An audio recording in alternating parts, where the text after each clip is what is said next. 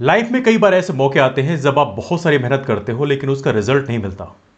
समझिए कि आप गाड़ी में खूब सारा फ्यूल डाल रहे हैं, ईंधन डाल रहे हैं, लेकिन वो गाड़ी चल नहीं रही होती है। ऐसी कंडीशन में आप बहुत ज़्यादा फ्रस्ट्रेट हो जाते हैं।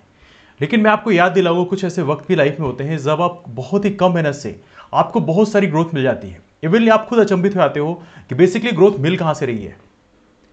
तो कुदरत की याद होती है कि वो चीज़ों को बैलेंस करती है। तो आप इस चीज़ पर विश्वास रखें कि आप जब बहुत सारी मेहनत कर रहे हैं और आपको ग्रोथ नहीं मिल रही है, इसका मतलब यह है कि आने वाले कल में उसका हिसाब ज़रूर पूरा होगा। और मैं आपको बताना चाहता हूँ, मेहनत का फल हमेशा मिलता है। ये अलग बात है, थोड़ी देर सवेर मिले, लेकिन मिलता ज़रूर है। तो आप मेहनत करने से कभी भी एक प्रकार से दूर ना रहें। मेहनत आपको करना है। Focus more on your efforts that's all thank you